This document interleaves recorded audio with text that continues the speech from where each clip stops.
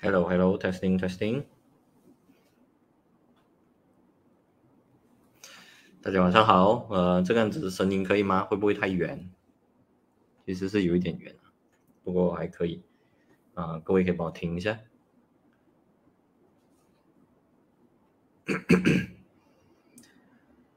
嘿，Elson，晚上好。嗯，就声音可以吗？画面可以吗？那么呃，如果都 OK 的话，可以给我一个 OK 啊。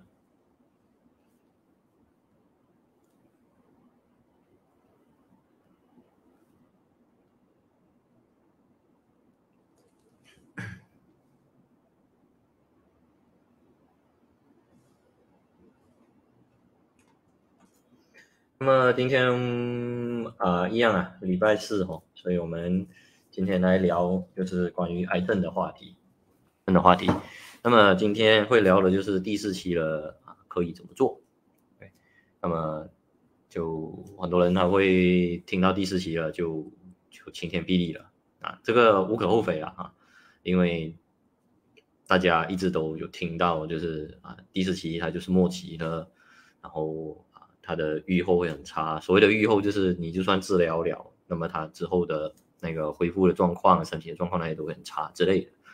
对，那么呃，今天来讲一讲，就是要怎样去正正确的去看待这件事情。就是第四期的话，假如讲啊，你被诊断为第四期，当然它不只是今天讲的这个内容啊，不只是啊，只是讲第四期而已啦啊。那么就是如果说你是被诊断为癌症啊，或者是说你要跳脱出癌症以外，甚至是其他的疾病都好啊，那么你应该用怎么样的一个正确的态度？去面对这一个疾病啊，那么今天就我们就来讲这个东西。哎，好的，那么呃，各位可以帮我听一听声音怎么样，画面怎么样，然后可以给我一个 OK。如果说都没有问题的话，好，呃，维 King，晚上好，王 Q 胖，晚上好，Annie，OK，声音 OK 啊，好，明春。晚上好，头发没有乱啊，目前看还可以啊。我已经自己剪头发，差不多整整四个月了吧。那其实就我自己剪，可能还花比较少的时间，然后也比较便宜，然后效果还好一点。对，那么所以可能我接下来会渐渐的都是自己剪吧。OK，妹妹，晚上好。榴莲，晚上好。熊明，晚上好。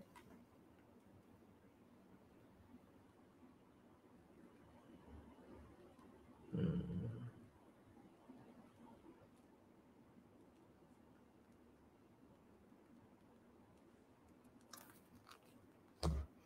嗯，一年哟，晚上好。啊，他，呃，OK 啊，好的。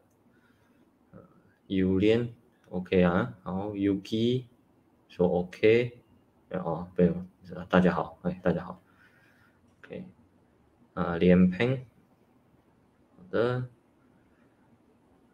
，OK，呃，苏托兄，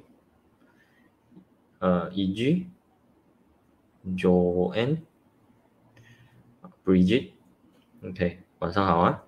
大家晚上好，然后呃。各位如果说都没有问题的话，可以就是这个画面、声音那些都没有问题的话，可以帮我把这个内啊这个这个 live 把它给切出去哈，让更多的人可以看得到。OK，Jessica 说 from Singapore，OK，好，你好，你好，嗯。那么呃，今天是礼拜四，所以我们礼拜四讲的东西都是跟癌症相关的。那么这一个是主要是在宣传我们一个课程，就是抗癌之道啊，当然之后会。啊，改名叫做与癌共存。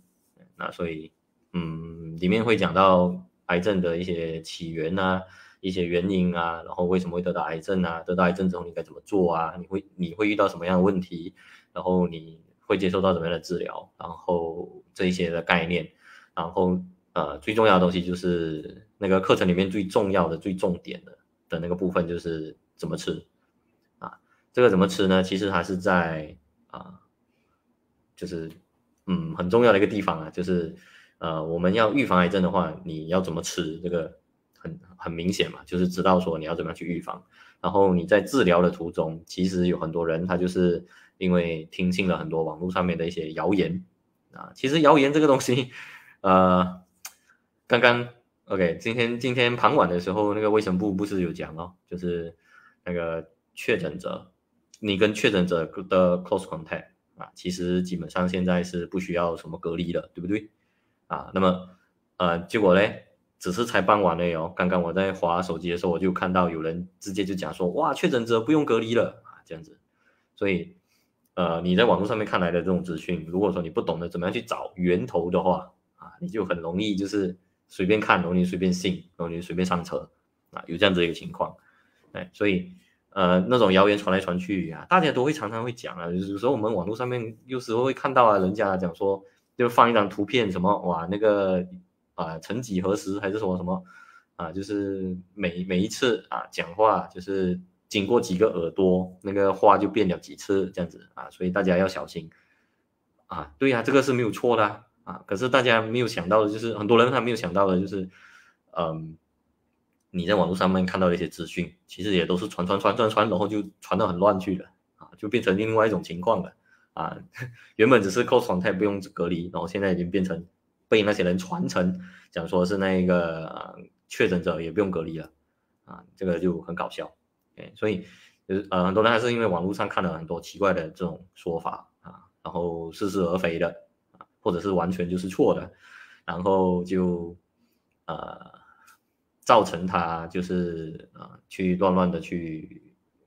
就是这个不要吃那个不要吃，这个这个借口那个借口这样子。啊，甚至讲说就是听信了某一派某一些的说法，然后结果就呃治疗到一半他就放弃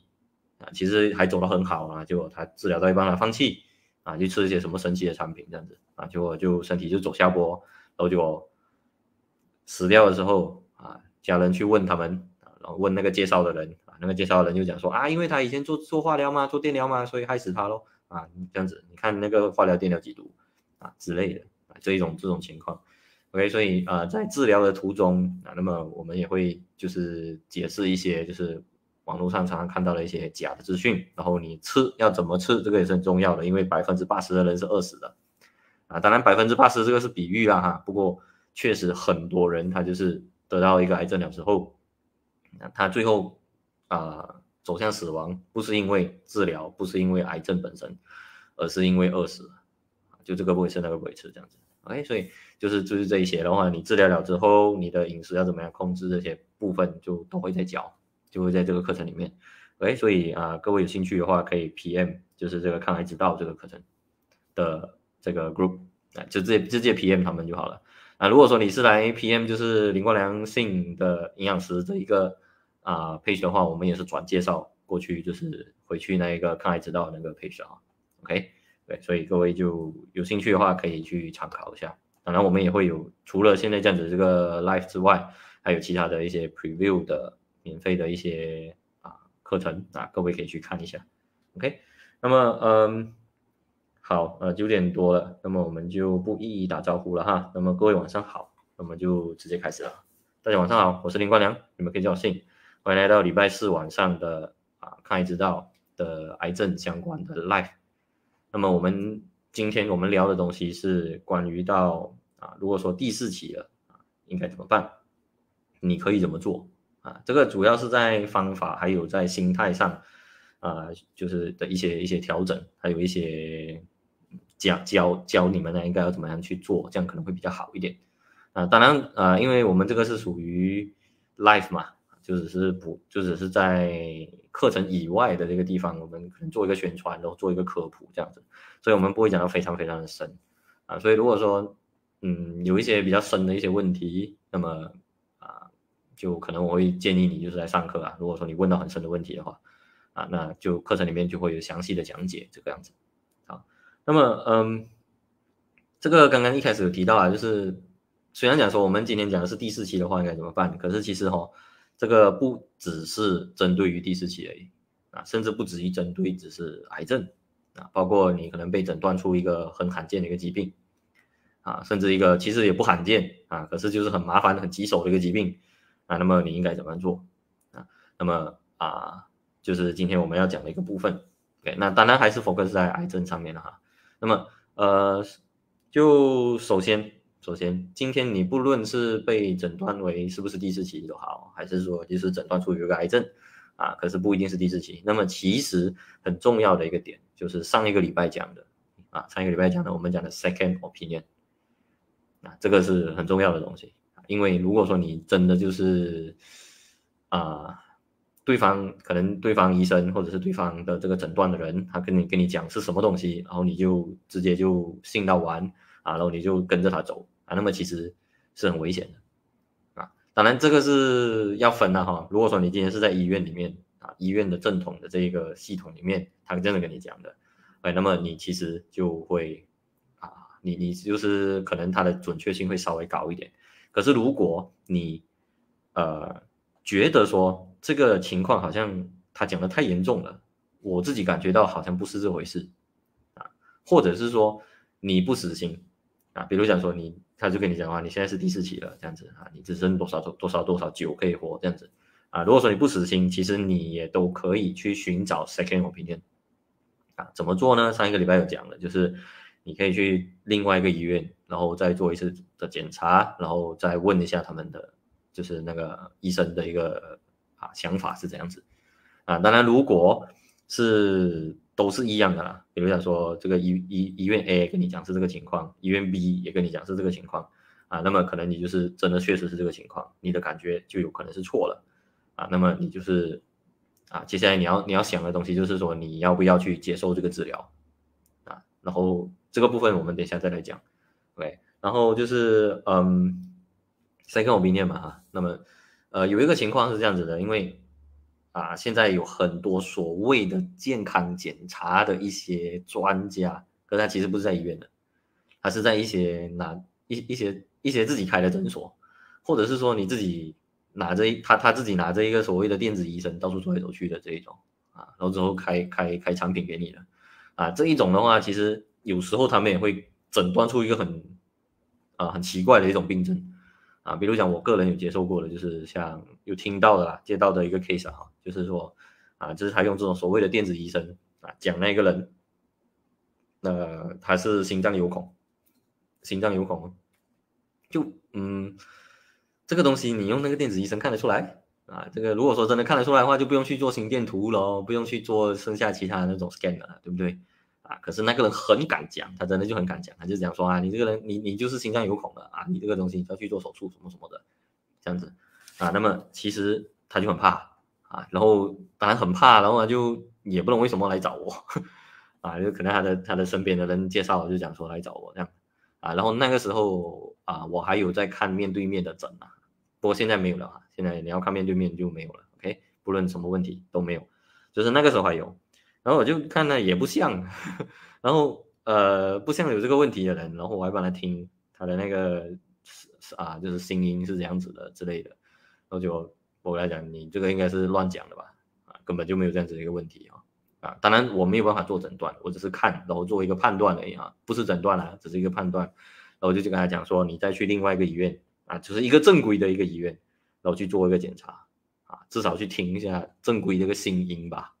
啊。然后结果啊就去了啊，结果就发现啊，真的一点一点毛事都没有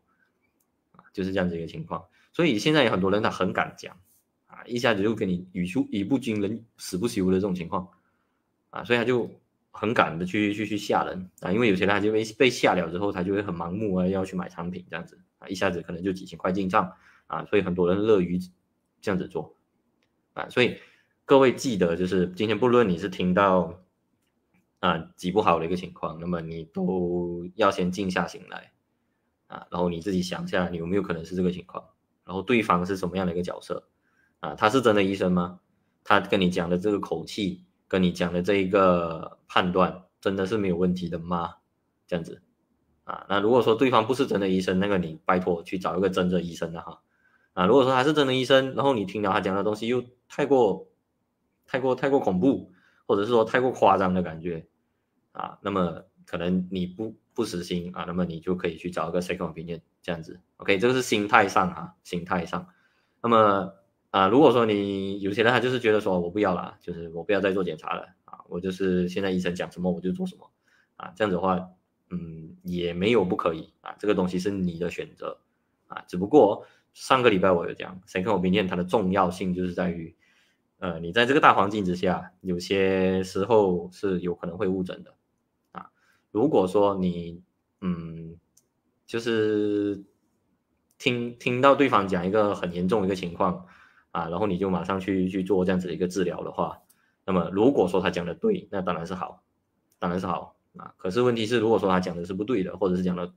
太过夸张了，然后他给你的治疗是太过的 over 了，比如说我的外公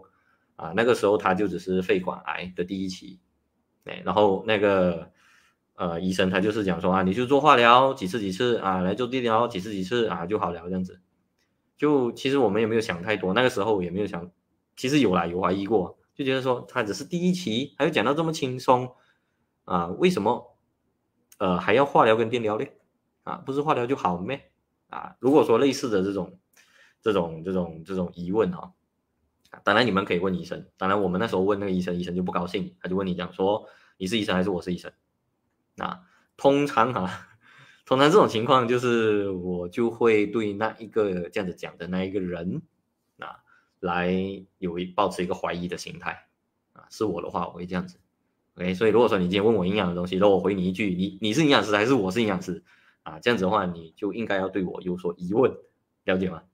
啊，同样的道理来了，OK，那么这这也是一个一个判断的一个标准，OK。然后，呃，其实我个人也有接过几个 case，就是他是因为误诊，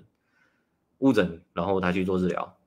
然后做到一半了之后才跟他讲说他没有问题，可是他已经一一边耳朵听不到了，或者是说他已经某一个器官已经被割掉了这样子的一个情况，啊，所以其实误诊这个东西不是很常见，我们没有办法讲说它很常见，OK，可是它是有可能会发生的。啊，所以如果说你觉得有一些不对劲，那么你就要找谁告别人，OK？那么所以如果说今天是跟你讲说你是第四期啊，那么你就是可以这样子来做一个思想的准备啊，然后你可能要去找一个 second opinion 这样子，OK？好，这样子的话才是一个比较，我觉得啦哈，这样子才是一个比较正确的一个态度，OK？那么嗯，就。啊，尤其是那一个了哈，那个医生跟他跟你们讲说你是医生还是我是医生的这一个情况，其实你要知道啊，你是有换医生的这个权利的，OK，那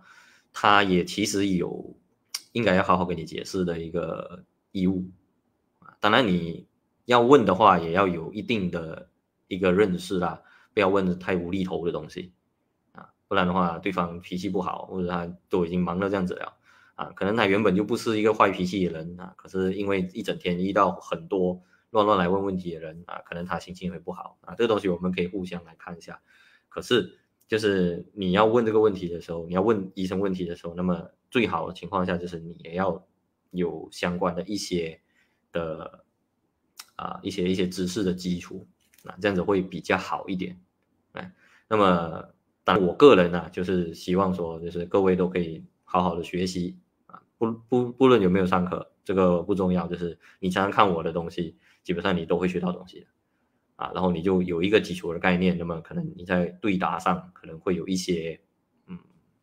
会有更好的一个表现了，啊，你不会真的就是问太多无厘头的问题，那医生呢，我会痒哦，是皮肤癌嘛，啊，会有这样子的东西，啊，或者是说，啊，我我后腰会酸呢，啊，我是肾癌嘛，这样子，啊，或者我是肾病吗？肾腰子坏掉了。啊就这种就是属于无厘头的问题啊！你要问的问题应该是说，就是，可能的哈，比如讲说啊，我就是小便有泡泡啊，然后腰酸背痛啊，然后可能我就是这个肾的这个部分可能会痛啊，然后我一天喝的水其实也不太够之类的啊，这样子的话就是来做一个判断，它会相对比较简单。那么呃，医生呢，对方呢，他也会比较容易去啊，觉得说，那他也会比较容易。比较会觉得说啊，你是有做功课的啊，或者是说你是诚诚心想问的啊，而不是一个乱来的这样子，所以他可能就会有更有心的去跟你解释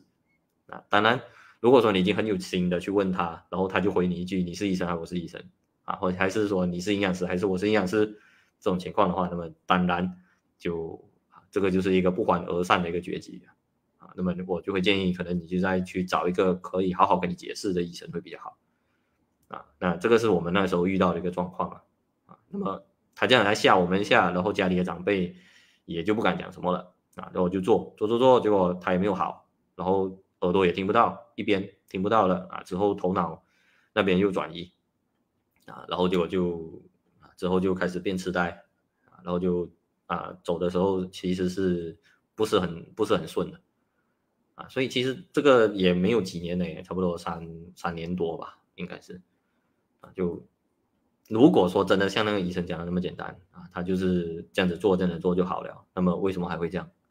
啊，然后他也没有跟我们讲说啊，就是可能成功率是多少啊，可能我们还需要啊有做好什么样的心理准备，这些东西都是都没有，他都没有讲，他就是开一个空头支票而已啊。这样子的话，就是呃，各位可以有这样子一个 sense 啊，一个感觉，就是觉得对方啊是不是真的就是靠谱还是不靠谱的？哎，就是这样子啊。然后呃还有一点呢，就是如果说今天跟你讲说你是第四期啊。那么你也要问说是怎么样的一个状况啊？比如说是转移到哪里去，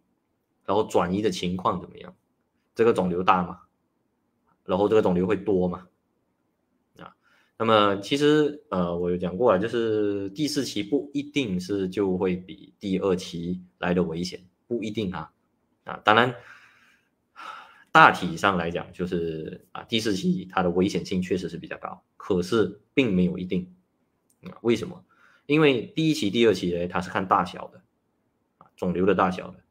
啊，比如讲说有一些它是跟你讲一 cm 以下，它是第一期，啊，或者是两 cm 以下，它是第一期，然后超过了，那它就可能就是第二期这样子，啊，当然这个它分类，它有不同的分类，它可能会有一些差异，可是基本上的情况是这个样子，OK，就是用用啊，第一期、第二期它是用大小来分。那么第三期、第四期呢，它就是有扩散，有扩散了，啊，然后有扩散。如果说扩散的附近，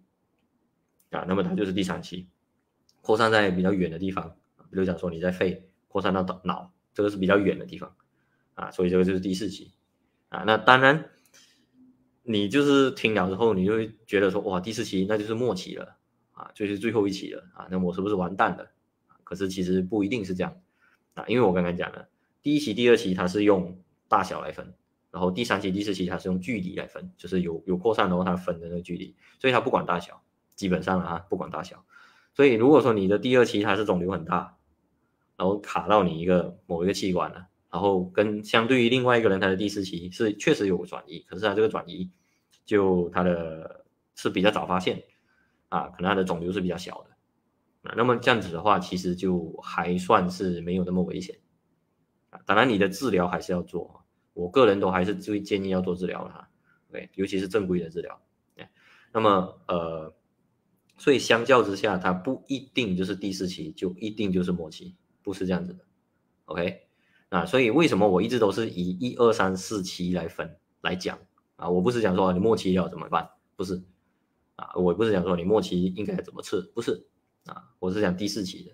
啊，因为它这个其实就是一个很。啊，其实就是一个很很陈述的一件事情啊，就是一个分类啊，就是第一、第二是怎样，第三、第四是怎样啊，没有讲说就是一定就是啊，很就是这是最后了这样，没有一定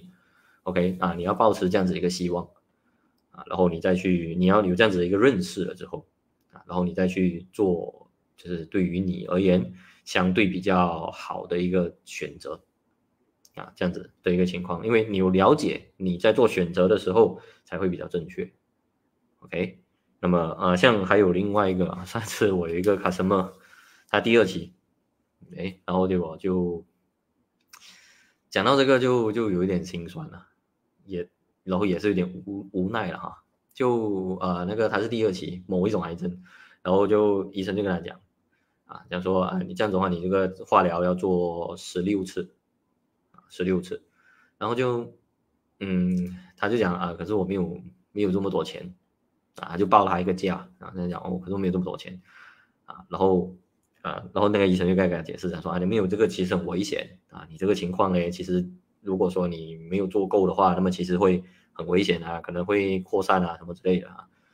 他就讲了很多，OK，然后最后我那个卡什们还又在讲，就是可是就是我没有买保险，没有钱啊，就是我们那个现钱没有那么多。啊然后就我那个医生讲，哦，这样子啊，了解了解，这样子的话，你给你做八次就好了。啊，原本是十六次，那么现在是变八次这样。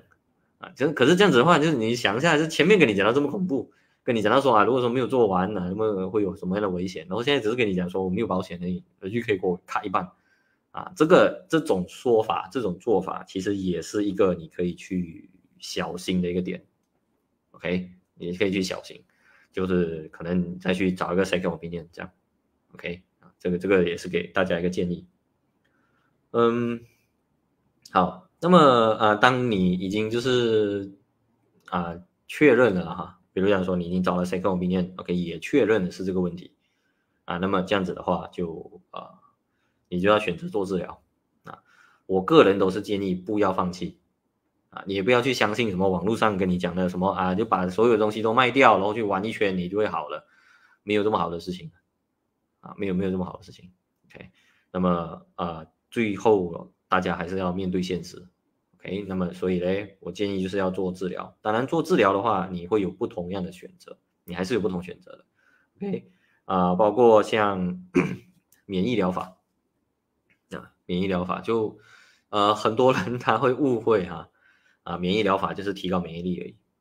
啊，相信在座可能有听到过这样子的说法哈。啊，有听到的就是啊，在下面留言听到过，OK，听到过，就是听到过什么？就是听到过提高免疫力就是免疫疗法啊，这这种说法啊，有听过？你就在下面留言听到过。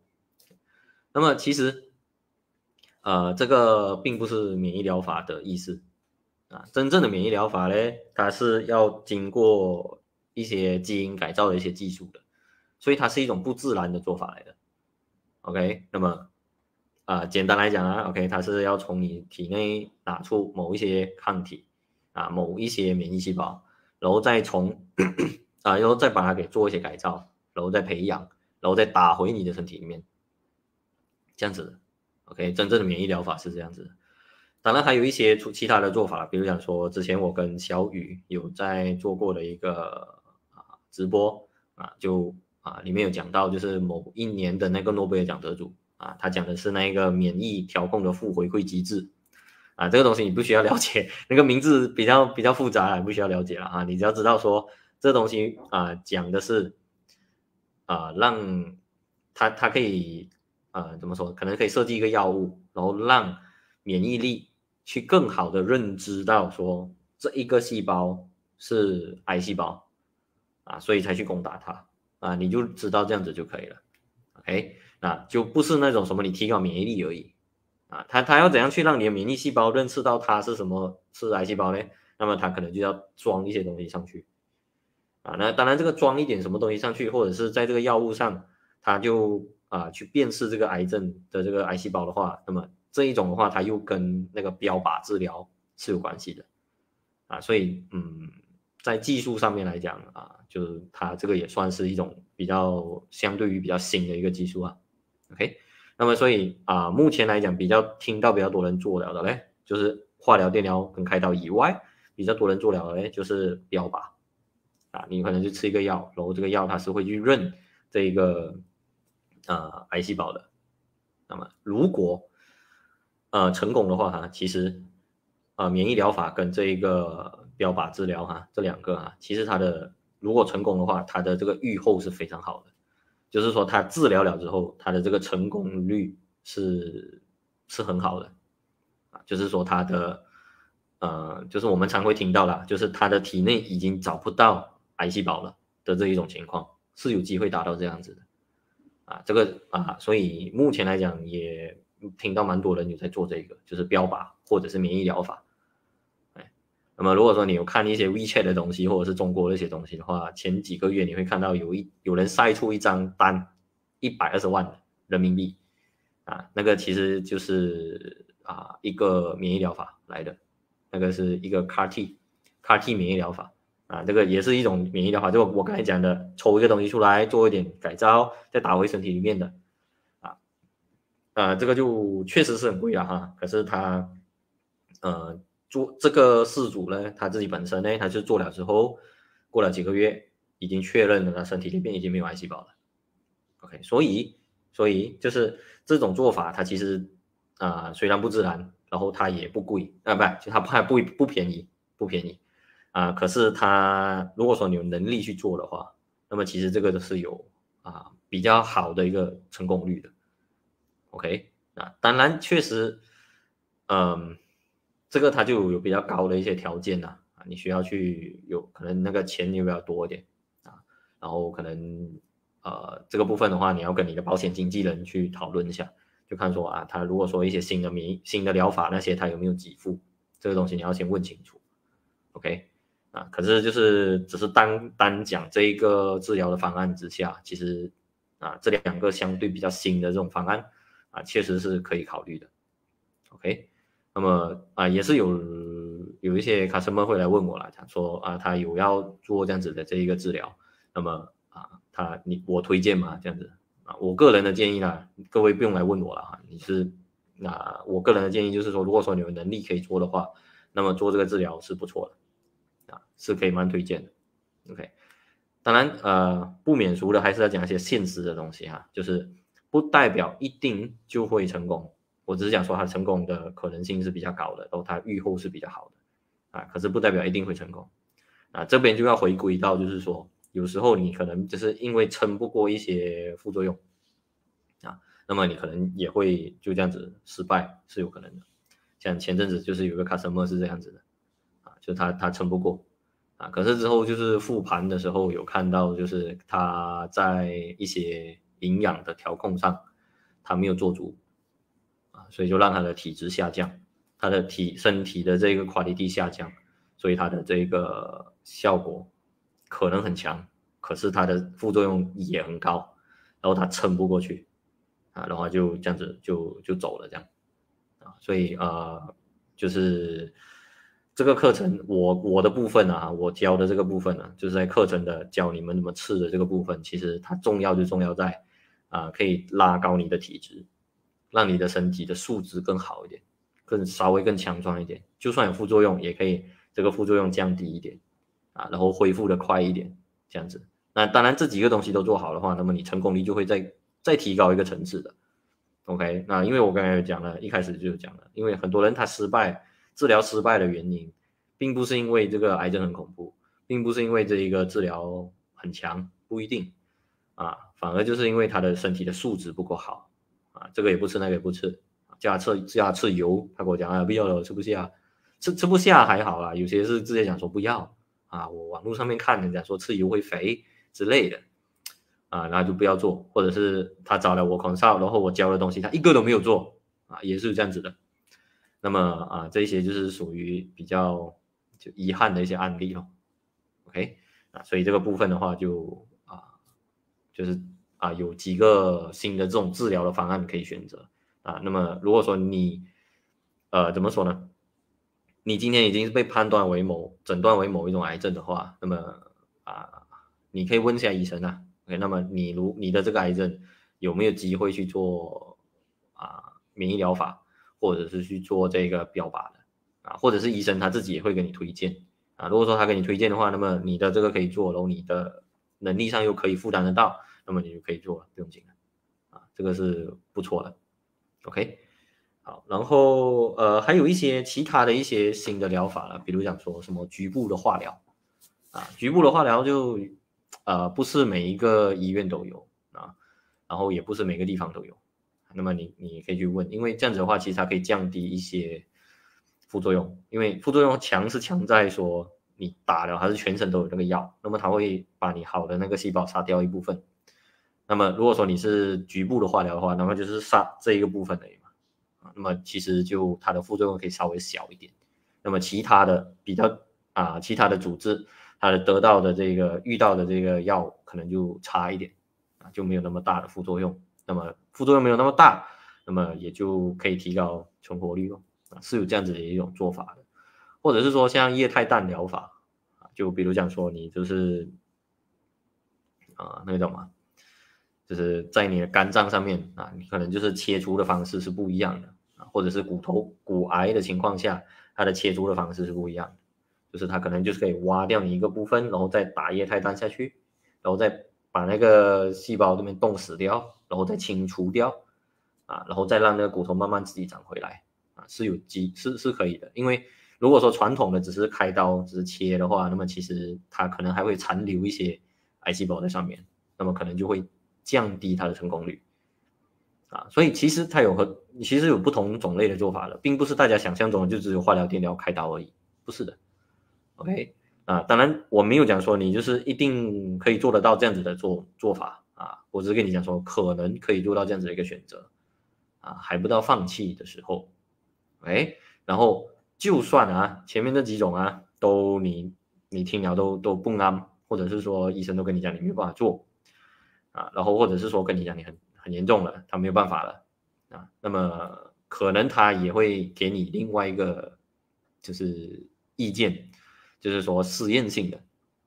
实验性的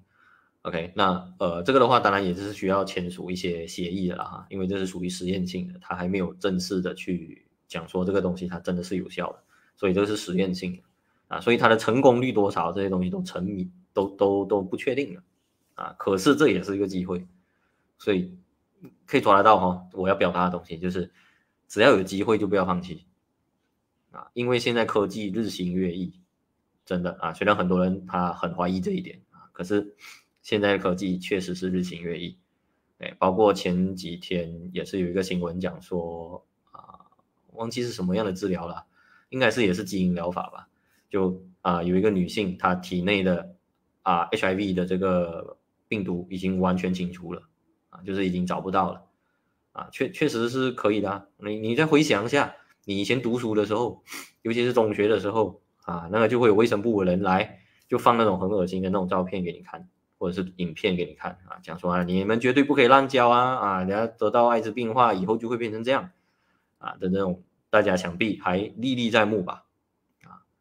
还记得的啊，有看过这种，有接受过这种教育的哈啊，可以在留在下面留言接受过，嘿啊，那我也是我是记得很清楚了哈。那么就可能他嘴巴里面就会长霉菌，或者是身体烂掉很多洞之类的。那么其实就以现在来讲，不要讲说前几天的那个 case 啊，我们就以现在来讲，其实你只是吃药控制你的预期寿命。就已经跟普通人一样了，啊，当然会有一些些小小的副作用，可是你的预期寿命就也还是就是七八十岁，啊，而且你的最人生的最后不会是像他们秀给你的那么悲惨，啊，因为这个现在的药物它已经进步到这个程度了，它这个药物可以控制，这样子，只不过你真的就是要吃药了，不要放弃了，OK，那么嗯，癌症的部分也是这个样子啊，所以有一些。就算已经没有办法了，可是还有一些实验性的这种疗法的话，那么也确实可以试，可以尝试。OK，那么刚像刚才讲到那一个呃免疫疗法的哈，其实一开始的时候，呃，首先第一它贵，第二就是没有人知道啊，所以他们去找这一个 case 来做这样子这个疗法的时候，也是去问这一种 volunteer 的，然后已经是很严重了的那一个 case，然后去问说啊。啊，你不要要不要试一下这个这个新的疗法这样子？当然我们不保证成成果啦，啊，可是要不要试试看？啊，所以如果说你有这样子一个机会的话，啊，然后其他的方法都已经是没有什么啊成功率的话，那么我觉得这个机会不要浪费，是可以试试看的。OK，好，那么嗯，我喝一口水，有问题。想要问的话，可以留言在下面哈。OK。OK，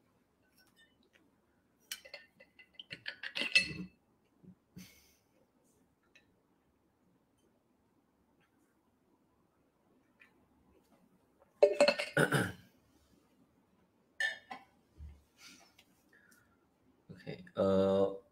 我妹妹说我肺癌标靶治疗了两年，算是成功了。哦，很不错啊。当然你。一定你还是要定期回去检查的嘛，是不是？然后两年了，其实算是不错的。然后啊，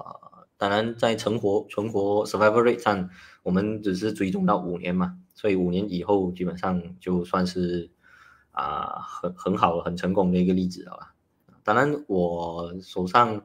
有接受过的一些 customer，当然我出来真正出来也才七八年嘛，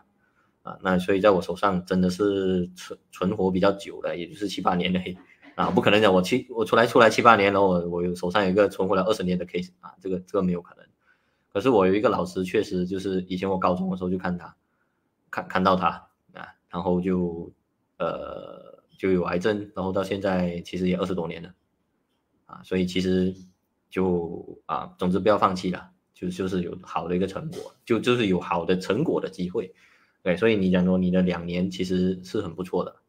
当然还是要去回回去持续 follow up 了。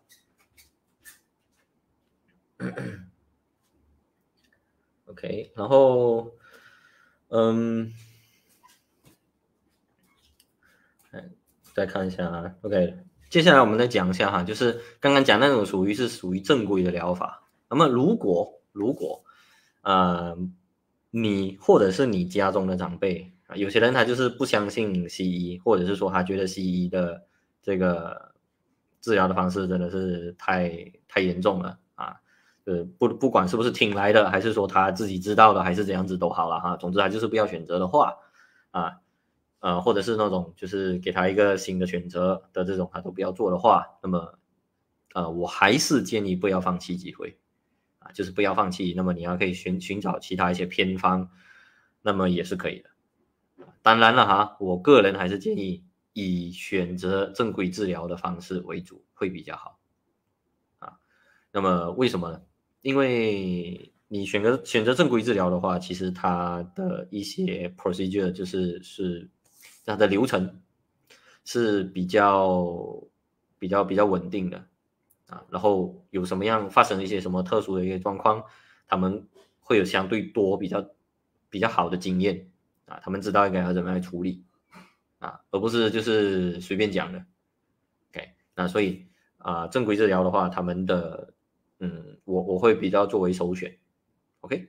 然后呃，如果说真的就不要属于走正规治疗的路子的话，那么你要走偏方的那些部分的话，那么其实啊也可以啦，啊，不是不可以，是可以的，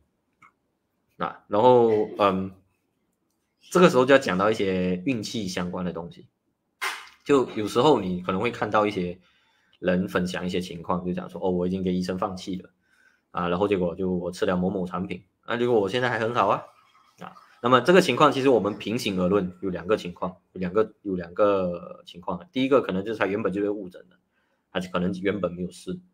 啊，然后他吃了这个产品了之后，哎，他又再回去做一个检查，或者是说他就没有再做检查了，然后他又自我感觉良好，那就嗯，他存活下来了这样。啊，然后就变成一个 testimonial，啊，是有这样子一个可能性。可是就是这种可能性比较多的嘞，有可能他原本就是属于啊被误诊的情况，啊，或者是他本来没有那么严重，啊，可能就像我上个礼拜讲的啊，原他被判断为第四期，就实际其实上那个 case 只是第二期而已，啊，而且那第二期还不严重的，那么其实就是这样子一个情况是有可能的，OK，那么呃。就所以这边的话，我是建议啦，就是不要太过相信所谓的 testimonial 啊，不论谁跟你讲的啊，就都不要太过相信。对，那呃还是要去啊用你可以得到的这个资讯来去做一个判断啊。如果说，比如讲了，我常常讲一个情况就是哈，你知道癌症它有分非常多种嘛啊，那个人还可能就会讲说啊，懂啊，有分脑癌啊、喉癌啊。鼻炎、喉癌啊、食道癌啊，什么之类的，啊，这个确实是。可是其实不只是这样子，包括你一个肺癌，它都会有很多种不同的肺癌，啊，什么大细胞肺癌、小细胞肺癌啊、鳞状细胞肺癌啊之类的，它会有不同种类，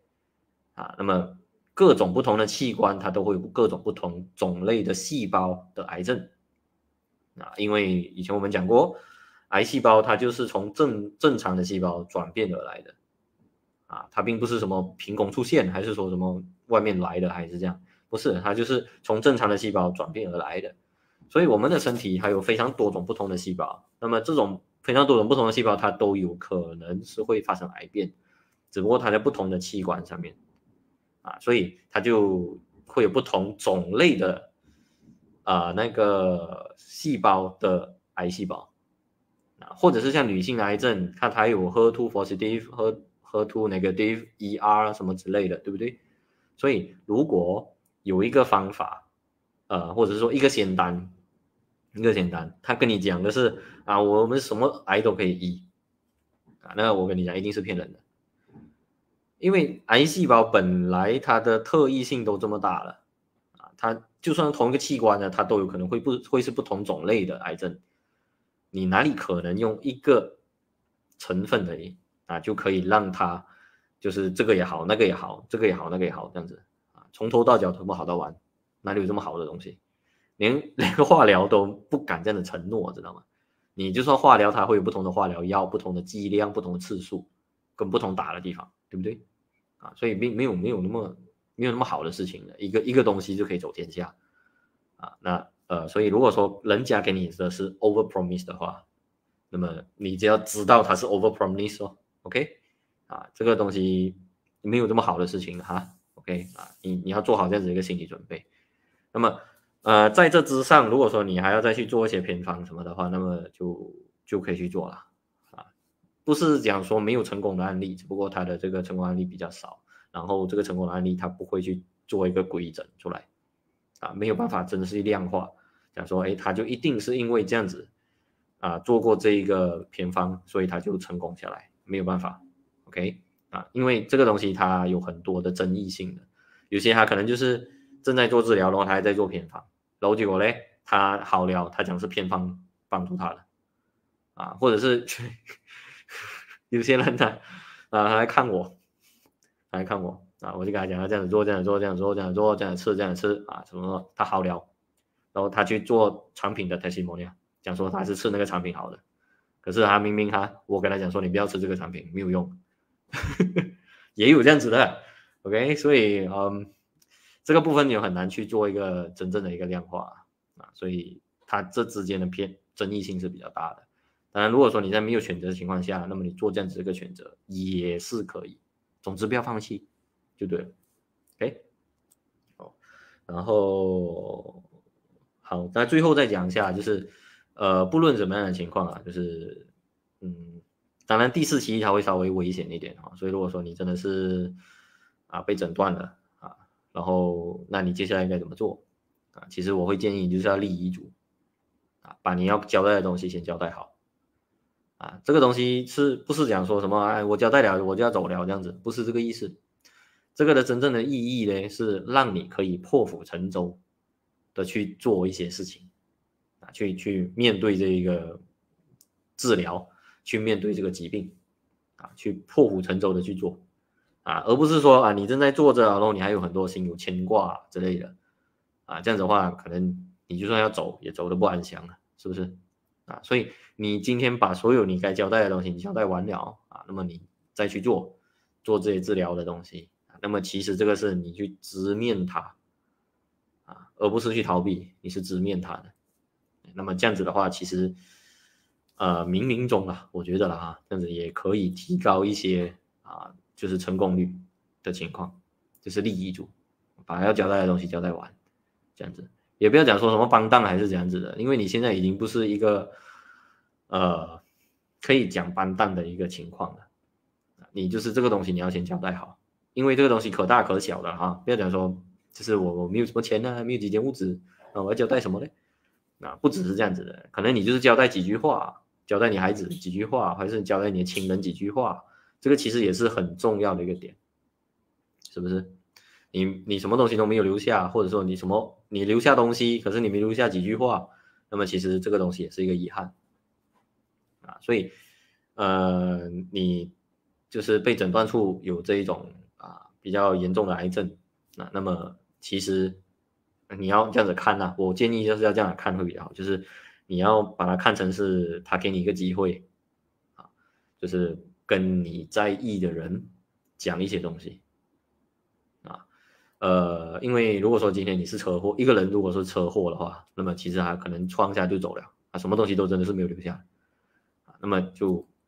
这样这样子这个情况对比于啊，你还有机，你还有时间，你还有机会，你还可以去慢慢想一下，还有相对充裕的时间。那么其实我觉得这个是啊，你应该要去做的事情。OK，不要留下遗憾。OK，好，所以基本上就是这样子。那两个要做的东西，第一个就是不要放弃。很多人他就是哦，我是放弃了了，不要聊了，什么东西都不要聊了，啊，就就就就每天可能就吃喝玩乐，他也不是很尽兴的这一种，啊，然后就真的就是放弃了，啊，你去吃喝玩乐还是算了啦，有些就是直接看电视机看一整天的那一种啊，都是看很多天，然后严重了也不要去管他，也是这样子的人。那么我我不鼓励，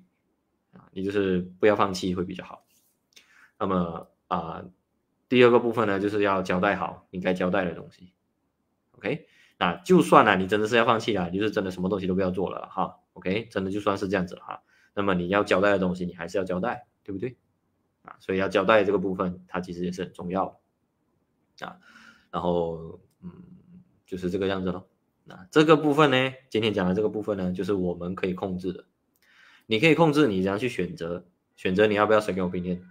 选择你要。接受怎样的治疗？选择你要啊，就是要不要接受一些啊医生的建议来做一些比较特殊的一些治疗，或者是些啊实验性的疗法啊，或者是说你可以选择你要不要做治疗啊，这个是选择。然后你可以选择你要怎么样去啊立一个遗嘱，或者是留下一些一些话，这是你可以选择的部分。那么这些东西你做好了之后，你才可以去听天命。哎，所以这个是尽人事，然后才听天命，就是这样。OK，那所以这个以上就是今天的主要的内容。OK，希望对各位能有所帮助啊。OK，因为老实讲，我看过太多的，就是这类型的遗憾的一些事件。OK，所以包括我自家其实也是有类似的这样子一个情况，所以啊，可以去避免掉这些遗憾的事情，那当然是比较好的。哎，好，那么有学到东西在下面留言学到了，我看我喝一点水，然后我们来看一下什么问题。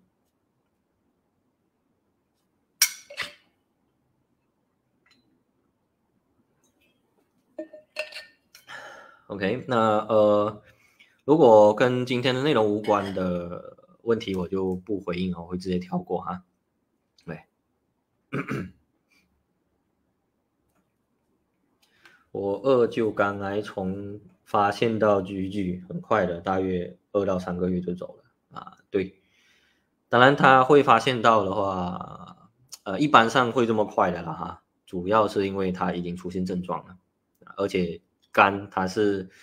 沉默的器官，肝本身是不会痛的。可是如果它大到一个程度，它压到其他地方的神经线，它才会痛。那么其实这个情况它就已经是很大了，它比较危险了。啊，或者说它已经转移了，转移到骨头上，然后骨头会痛这样子。那么所以呃，通常这种很快的，就是因为他前面他没有去做检查，然后拖到，OK，那主要是这样子了，OK。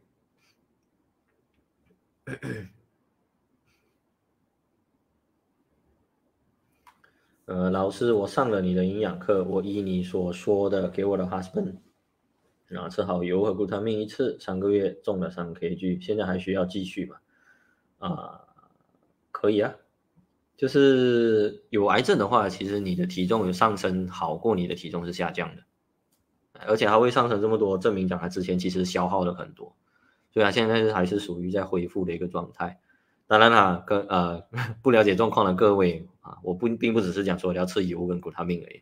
你的饮食都是要做好的，OK。那么啊，就他可能现在是正在一个恢复的一个状态。总之，呃，在不了解状况的情况下啦，我们都会先去啊要求要留意他的体重，就是啊癌症患者的体重。如果说他是体重一直下降的话，那其实是更加危险的。OK，好啊，体重上升还还 OK。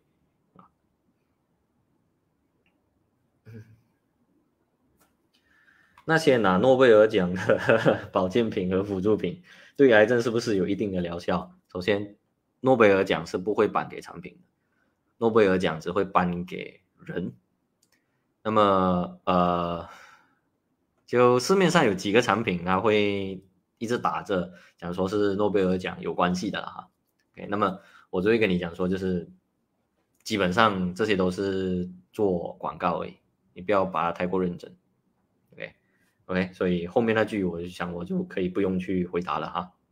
当然前面那个部分都都有问题，那后面那个部分就你知道就好。之前去看眼科医生检查眼睛，因为近视很深，检查后眼医就直接叫我做手术，啊，感觉怪怪的，好像推销。然后听了上一次老师说，先看我明天觉得再看看其他眼科有什么建议，啊，好像也可以，就是这样弄，就看看还有没有什么其他的建议了。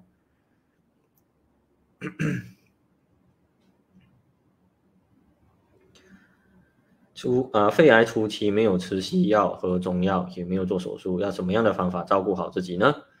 就我会建议你要选一个来做啊，不论你是要中药、西药，还是要偏方，还是要手术都好，随便，总之你要选一个你你安的来做啊。然后如果说你真的都是不要的话，那么就你饮食至少要照顾好。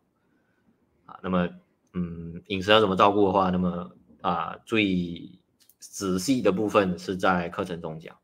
啊，所以我这边就不讲了，因为它很多东西啊，我在那个课程里面，我那个单单是那一个部分我要讲，饮食的那个部分我要讲 三到四个小时啊，所以不可能在一个 live 里面讲完的，OK。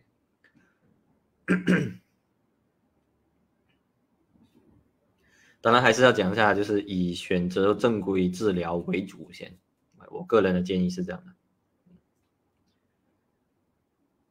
OK 啊，Vicky 说啊，接受过照片很恐怖啊，对，这种是属于一种震撼教育哈。啊，只不过现在就是那个艾滋病的那种病啊，病患的这个照片啊，其实就是只要你吃吃药，那么基本上就愈后就就是往后就不会这么恐怖，就对了。OK。那么，当然，以现在科技的进步而言呢，再加上前两天的那一个成功案例来看的话，其实，呃，以后啊，你的这个可能真的就是治疗一下，哎，以后真的就是艾滋病的那个被攻克了，也是有可能的，啊，总之就是，sorry，总之就是不要放弃就对了，因为以现在科技进步的速度，啊，分分钟是会有一个新的疗法出来的，OK。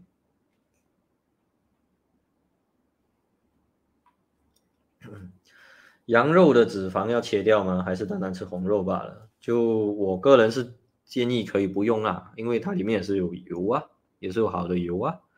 啊，而且其实你真的很怕油的话，你就是煮久点，它里面那个油跑掉比较多了之后，剩下的它就是胶原蛋白啊，所以炸猪油那个猪油渣它也是胶原蛋白来的，只不过还是炸的脆脆的啦，还是属于一种蛋白质。OK，所以其实我个人是建议敢吃的话就不需要切掉。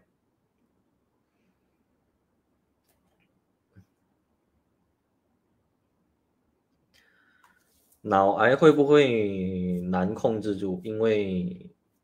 什么？为什么半年会复发一次增大癌细胞？就这个没有办法直接这样讲，因为在尤其在头脑上面，它的这个稳定性是没有那么高的当然还要看不同种类了哈。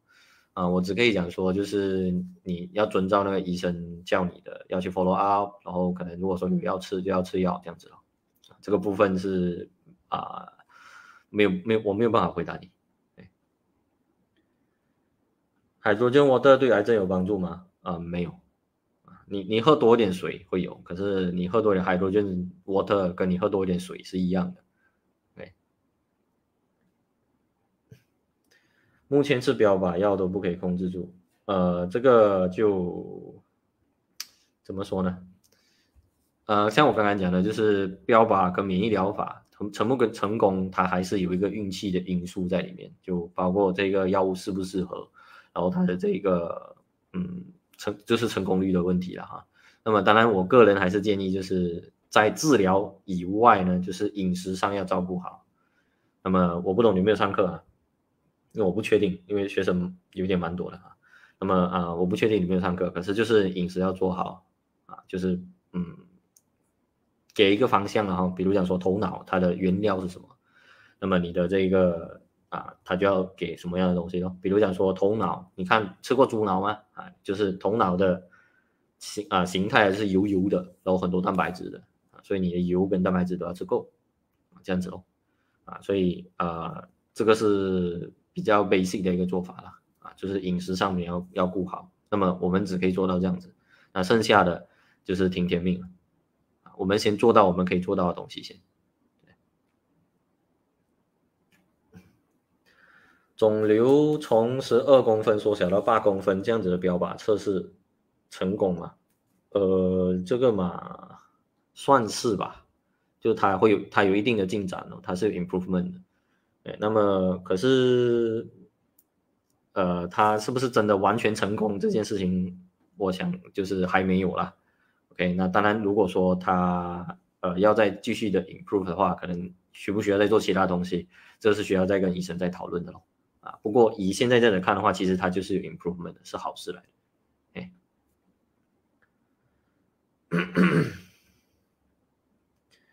呃，我是乳癌原位癌，啊，化疗和全切，接下来要进行电疗和表拔，想请问糖真的一点都不可以吃吗？谢谢，不是，是可以吃的。OK，那只要一天不要超过二十五克，基本上就可以了。那一天二十五克也不是讲说就是只是给癌症而已啦，就是正常人都是一天不要超过二十五克啊。OK，那为什么呢？因为啊，癌细胞它并不是只是吃糖而已啊，你今天不给它吃糖，它还是会去抢你其他东西吃。然后如果说你完全不吃糖，然后啊，当然这边讲的糖它不一定是甜的那个糖啊，包括碳水化合物了哈。有些人他就是讲说我不要吃碳水化合物，这样我饿死那个癌细胞。我跟你讲，癌细胞它就是饿不死的。它在正常情况下是饿不死的，是你的正常细胞先饿死掉先，啊，因为癌细胞是不讲武德的，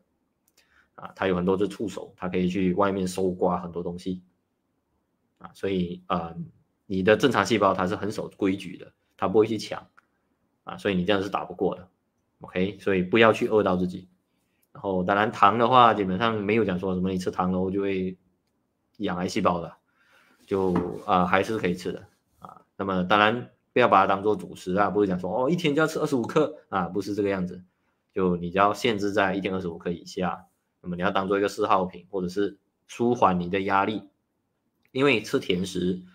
啊其实是可以舒缓压力的。那么你舒缓你的这个负面压力啊，其实它是它就是有帮助啊，是 OK 的，是好的啊。所以这个就是你要带着一个目的性去吃它，那就 OK 了。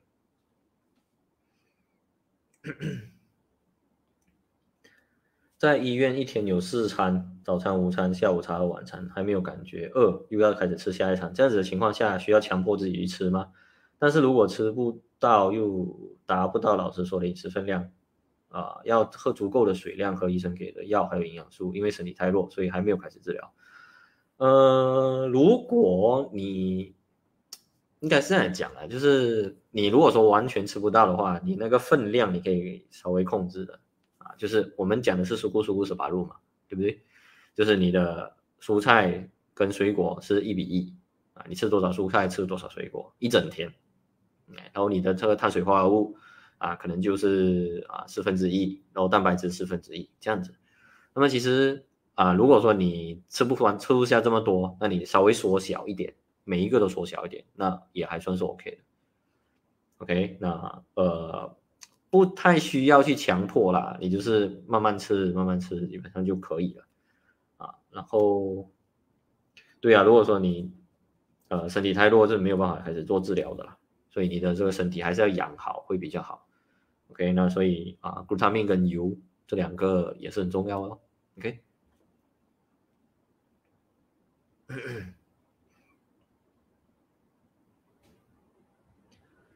呃，在问医生说标靶是需要做十七次，可以把复发降低二十到三十八线，因为价钱需要自己负担，所以我要求做一半，医生也同意。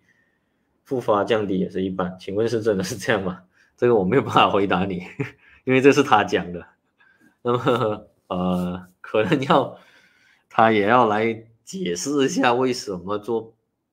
做一半，然后也可以达到一样的效果。那为什么不要一开始就建议一般的次数就好啊？理论上我们当然听了就觉得说不太对的吧 OK，那可是他是医生嘛，所以我们啊可以，就是你你可能可以问一下他啊，就是到底什么原理啊这样子，所以这个部部分我没有办法直接讲它是真的。OK。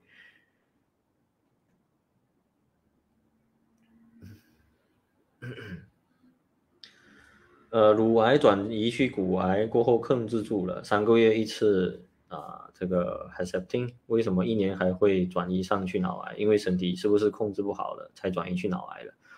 呃，有可能是因为身体控制不好了，可是这个东西我我也不了解他实际的一个状况，就是他的身体的实际状况，跟他饮食的情况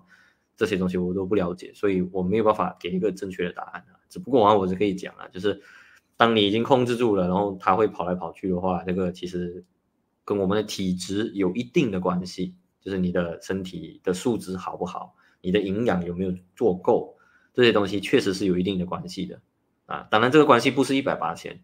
啊，包括可能这个啊，这个这个这个这个这个治疗，它可能会有发生一些逃逸的现象啊，这个也是有可能。只不过我们可以做到的东西就是啊，饮食上我们要控制好。啊，然后就最大限度之下去限制说这个癌症就是在治疗的有做治疗的情况下，不要去发生转移的状况。啊，这个饮食上是我们可以自己去控制的，剩下的基本上我们也没有办法太去控制啊，对不对？哎，剩下就是靠运气了啊。老实讲是这样。复发算是第四期嘛？呃，我是卵巢癌，每年。复发化疗进行标靶，呃，延缓复发，嗯，基本上不是复发，算是复发，就是看它是发到怎么样的一个情况，啊啊，第四期它就是远端的转移，只是这样子。所以如果说他是跟你讲说你是第四期然后你是复发的，那么可能就是说因为你有转移到其他地方去，而且那个地方比较远，啊，只是这样子。所以啊，复发不是算第四期的。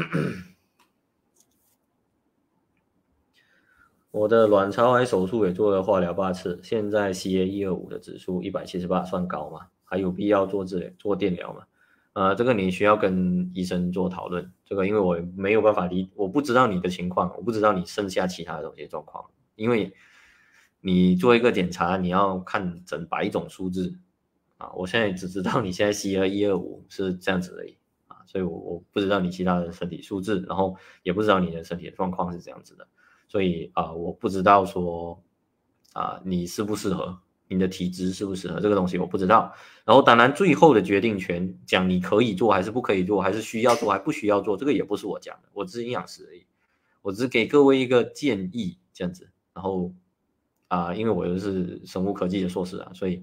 在一些治疗的方案上，可能我会有稍微比较多一点点的了解，只是这样子，所以。用这个方式来给大家多一点认识，然后建议大家不要放弃。只不过一些选择上还是要啊，你跟医生做一些讨论的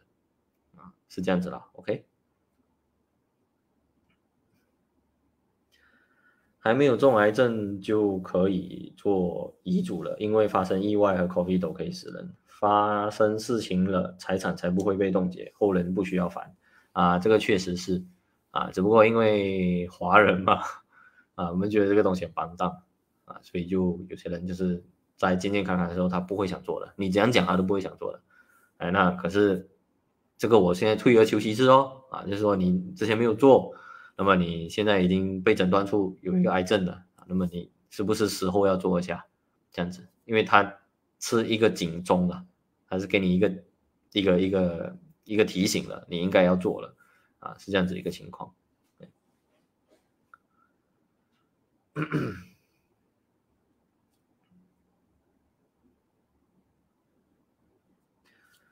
呃，我是前列腺第四期患者，昨天刚做第一次化疗，医生没说要做几次的化疗，是说往后日子都需要连续做，连续的换化疗药。易老师的经验，除了化疗，还有什么治疗能够尝试？呃，化疗咯，或者是电疗咯，或者是用次药控制啊，就微信来讲是这三种的选择。当然，如果说，呃，昨天刚刚做第一次化疗，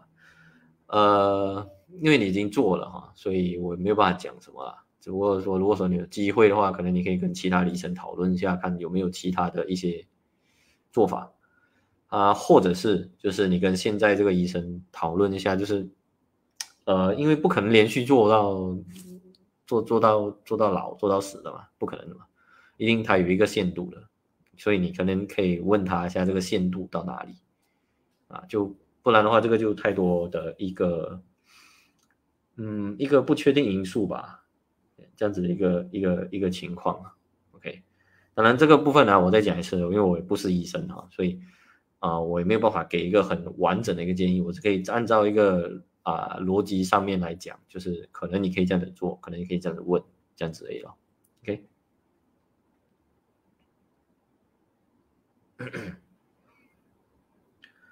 OK，呃，Elaine 说子宫颈癌第四期写了 Will and Insurance Trust，OK，啊，是好的，是好的。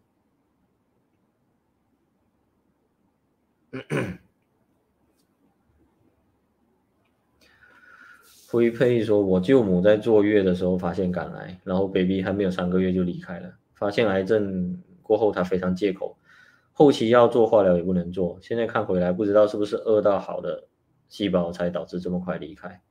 但是癌症后发现一件事，癌友们都不会叫癌友们借口，叫癌友们借口的都不会是患癌的人。对，这个非常赞同，真的真的，因为啊，真的啦，真的是这个样子，真的就很遗憾的一件事情，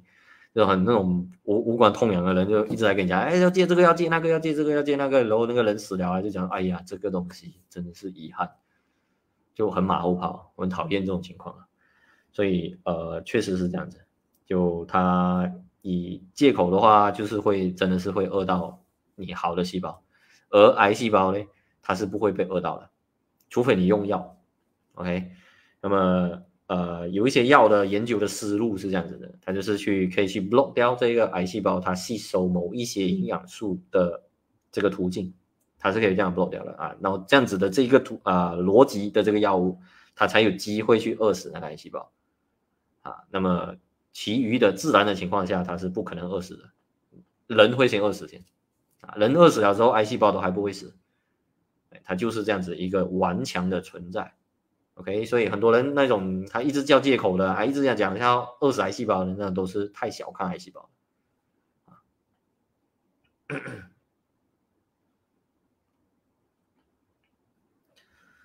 呃，舌癌第四期目前已做了手术，三月开始电疗化疗。请问舌癌的案例是可以控制的吗？就你你有做治疗，就饮食上有控制，那理论上我们就可以做到最啊最大的限度的一个控制咯，是有机会的啦。通过验血可以准确的验出癌症吗？没有办法，验血只是一个其中一个参考而已。你验血就算看到那个指数高，你还要再继续做其他的检查的，不可能只是看这一个指数而已，不可能。OK 啊，所以了哈，还有一些卖产品的，Testimonia 也是这样做的哈，就是 啊，就是测量一些产品了之后，我一他看到某一些的指数下降了啊，就跟你讲说，你看我们这个产品可以治疗癌症啊，这个人的癌症已经好了这样子，可是其实可能不是啊，因为这个指数它有可能就是那一个人他。可能在做月经啊，在月经的时候去做治疗啊，去做检查，所以这个指数高是有可能的，或者是说他刚好某一个器官发炎，所以他去做检查，那个时候，然后这个指数高，然后就就这个指数高啊，可是之后他可能啊通过一些饮食改善了，或者吃了一些产品改善了，还是做了一些治疗改善了，啊，或者是就是什么都没有做，就是喝一喝喝一喝茶，然后他的某一个发炎就好转了。所以他指数是下降了，啊，然后他们这种介绍产品呢也可以讲说，如果你看，你看这就是哇，就是因为吃了我们的产品，所以他癌指数下降，所以我们可以治疗癌症，啊，所以这个就是一个很盲点，这是错误的一个判断来的，错误的判断，啊，不可以从只是啊验血的指数去判断的，不可能，就算有一些的指数它是跟癌细胞的可能性是很高的哈，就算是这样啊。也不可以直接判断的，不可以的，一定是要再去做深入检查。OK，Cordelia 说第四期癌症想上课是哪个令呢？啊，这个啊，就是看来知道的 admin 们有没有在吗？啊，可以可以跟他们联络一下。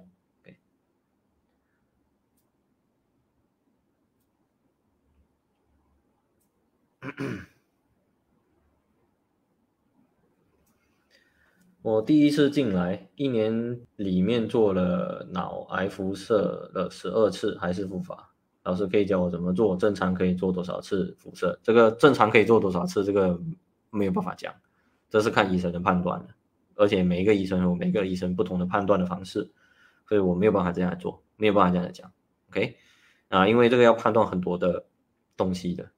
那么我只可以讲说，我可以帮助得到就是饮食的部分。啊以饮食的部分来提高你的，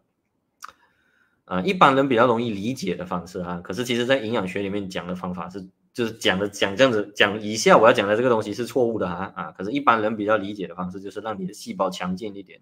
让你的身体的免疫抵抗力更好一点，让你的体力更好一点，然后来对抗这个它的复发啊，然后来控制住它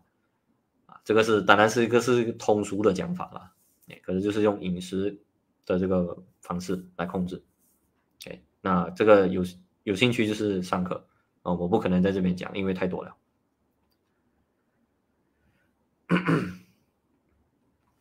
请问大肠癌需要吃益生菌吗？就你要吃是可以啊，可是没有需要吃啦，要吃是可以的。市场上的低基金可以喝吗？呃，可以喝。它，其实就是鸡的熬出来的它的氨基酸的总和啊，就跟鸡精差不多了，啊，就是这样子。它其实也算是一种补充氨基酸，也就是蛋白质的一个途径而已，啊，可以喝，还没有什么不可以的。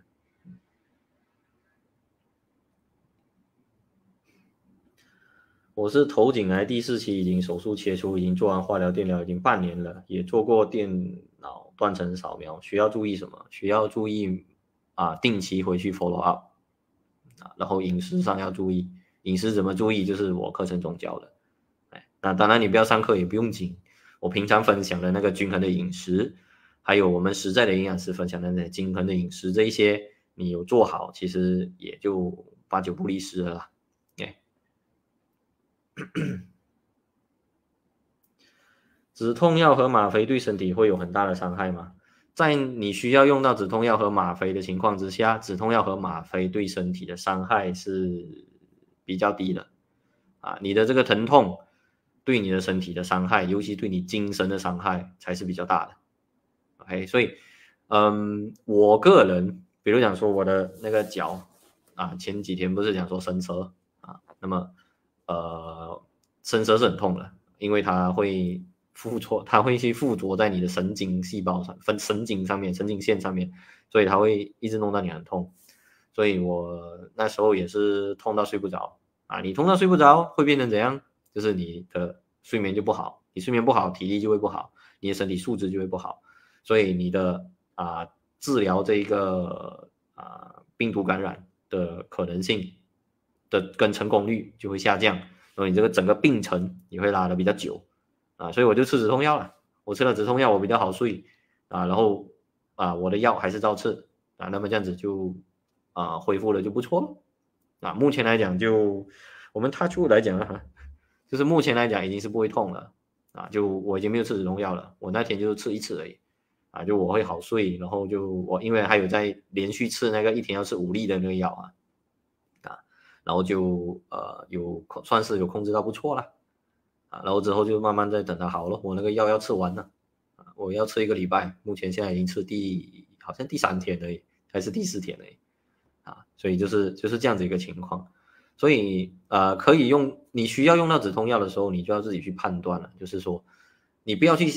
担心那个止痛药它会不会有一些什么不好的影响啊，就基本上它会给你用的时候就。它的影响基本上就不够大了，跟你现在正在面对的问题来讲，它已经是不够大了的。所以你先解决眼前的事情先。那所以，比如讲说你会比较好睡觉，或是你比较好心情，或者是你比较会吃得下，你吃了止痛药之后，或者用了吗啡之后啊，你会比较比较好一点，生那个品质会好一点，那么你就用啊，是 OK 的，OK 啊，不需要担心这个它就是会没有什么什么伤伤哪里伤哪里的这种这种说法啊，OK 这个啊不用不用太在意，OK 你现在要用的时候就是用。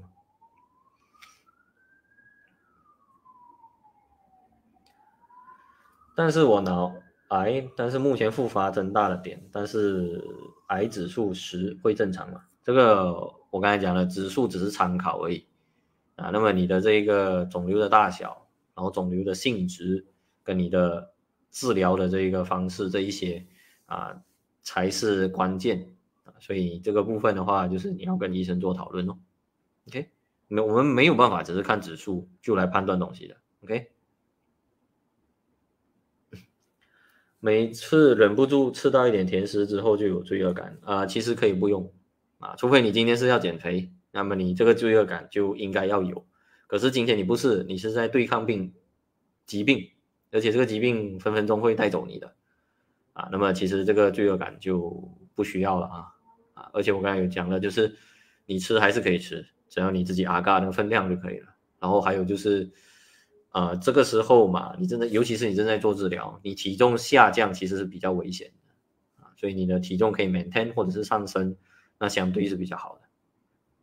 的。OK，那么跟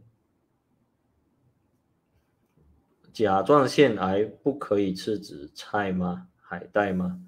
需要注意什么？就这些部分应该都有医生那边都有跟你讲的吧？对，那。呃，就不一定讲说甲状腺的问题就不能吃啊，只不过现在也不太需要了，所以就可以避免就避免咯。然后其他的话，我只可以讲说，就不要去不要去吃那种奇奇怪怪的保健品就好了，就饮食做好均衡，那会更重要，我只可以这样的建议。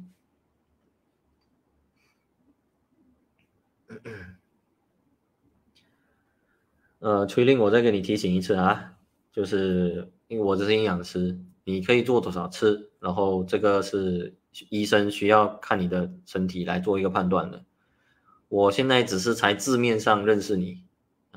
然后我也不了解你的状况，所以我不可能知道你一年可以做多少次，没有办法知道。相对的，如果说你只是这样子讲，就一个人就可以直接给你滔滔不绝讲出来，讲说你可以做多少次，那个人一定是闲家。OK，啊，所以就是我只可以这样跟你讲，所以你要跟医生讨论，或者是如果说你对于现在现有的这一个治疗，可能你有一点怀疑，那么你可以再去问其他的医生。不过你是要做了检查之后，来来做一个讨论的这样子，这是属于 second opinion，OK，啊，不然的话你另外再找另外一个医生，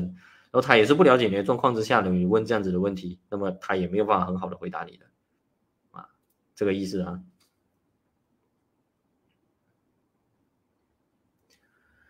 呃，卵巢癌第三期手术过了，化疗两次半，然后肿瘤转去淋巴。今年一月六号去照 CT，肿瘤长了两 cm。这样说是不是我之前的化疗对我身体没有效果呢？呃，有这个可能性，有这个可能性。可是我没有办法直接讲啊，我只可以讲说有这个可能性。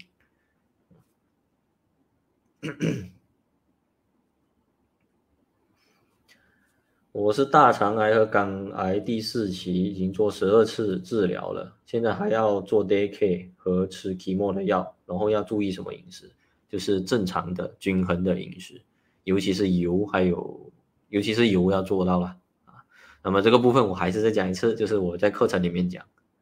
啊，包括还有一些补充品的东西啊，补充品啊不是保健品啊，补充品啊。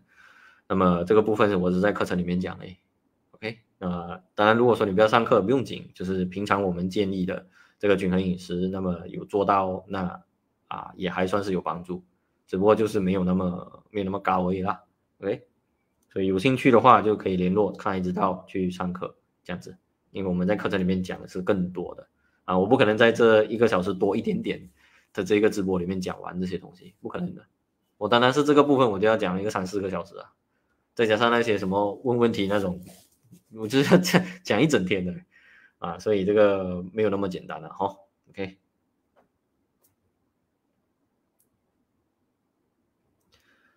做完化疗为什么皮肤会痒？就因为皮肤它会变干燥，它就有一点干裂，所以它就会有一点点小小的伤口，这样子很小很小的那一种，然后它又很干啊，所以它就会有一种痒痒的感觉，这样子咯。啊，这个主要是因为你的身体的啊，你你做了治疗了之后，你的那个黏膜啊开始死，然后有一些身体的一个状况，它会跑出来，这样子，所以这这是大家讲的那种很干的那种感觉啊，类似这样子的情况。OK，好，嗯，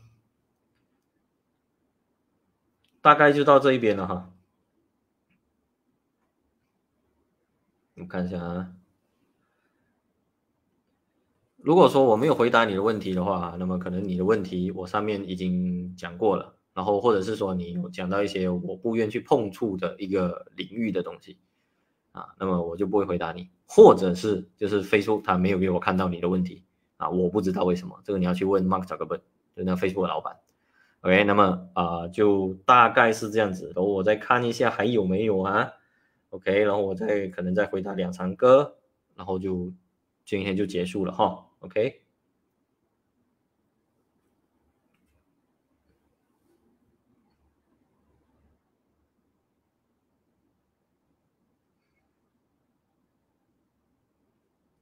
呃，乳癌第四期扩散到骨头，然后医生建议化疗，看到很多人说不化疗不死，化疗了反而死，请问应该化疗吗？这种说法嘞，怎么什么不做，然后做了没有事情，做了反而死，就跟现在的疫苗不是一样？有些人就跟你讲说，我你看你没有打，他没有打疫苗啊，反而没有事情，然后现在打了疫苗了，反而出事情这样子，这种就是用那一种。不太全不全面的这种啊眼光来看这整件事情，OK，所以这种说法是废的啦，不需要放在心上，OK，那我只可以讲说你你要做化疗，或者是说就是你你要做化疗是可以的，OK，那么目前来讲正规治疗它的成功率是有迹可循的，是比较大的啊，那种每天跟你讲说做了死，没有做反而不死的这一种呢？他会给你介绍出一个什么好的东西出来没？啊，如果说他给你介绍一个东西出来，然后他明明他讲的东西都已经是不合逻辑的了，然后他介绍出来的东西给你的，你觉得有可能是符合逻辑的没？啊，我非常怀疑了。OK，所以呃，我只可以给你讲的一个思路就是，如果说你觉得现在这个医生跟你讲的东西是你觉得可以接受的，那你就 go ahead。那么如果说你是不能接受的，或者是说你觉得可能你想要多听一些意见，那么你可以再去啊找一下 second opinion 啊，我只可以建议到这样，对。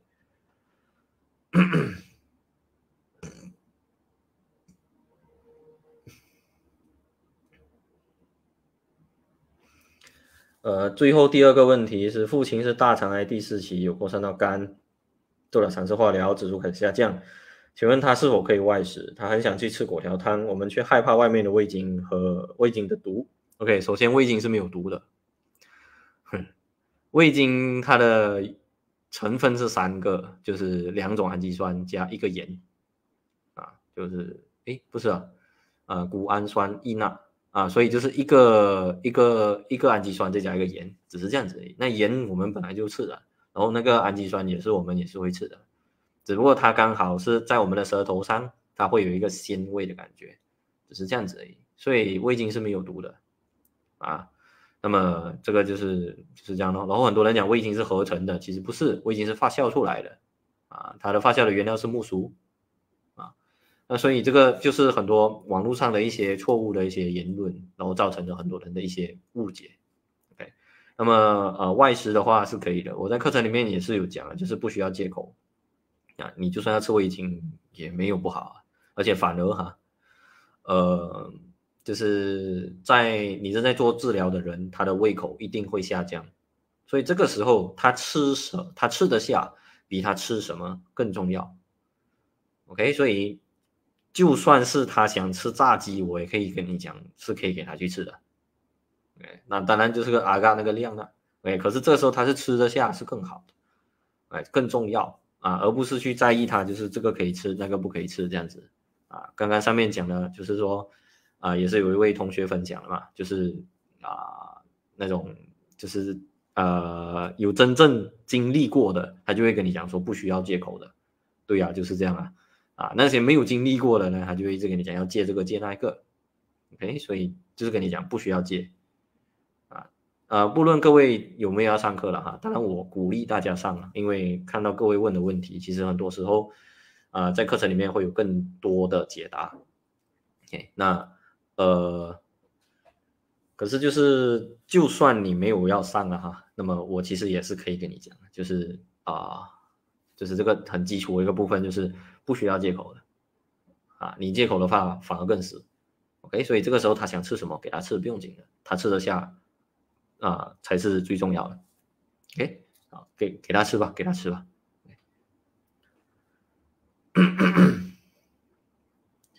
呃，课程里面有没有一整个月影视的 menu 啊？没有，目前没有。之后之后可能会有，可是问题是在这边了哈。我给 menu 的话，那如果说你买不到的话，某一个菜，那要怎么办呢？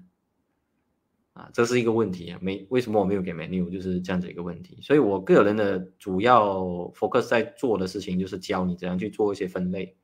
什么样是蔬菜，什么样是蛋白质，什么是碳水化合物，什么是油，然后什么是你要怎么吃，你要怎么选，这样子，然后你只要做好这些分量的搭配就够了，你不需要 menu。OK，那因为 menu 只是在限制你的一个，就只是限制你可以吃的东西，就其实不重要。那不过我们有在啊课程的之后啦，可能会有相关的一些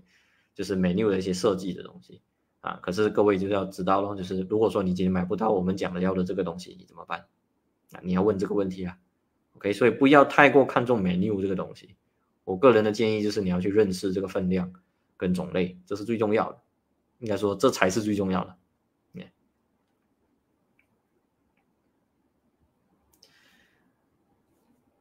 这个 spam 是怎么回事？